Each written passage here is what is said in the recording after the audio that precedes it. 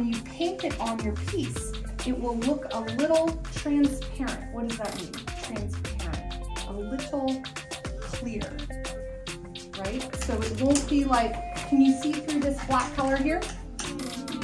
No, you can't, right? That's opaque. That means you can't see through it. When something is transparent, transparent, it's like when you look at that window out there. Can you see through the window?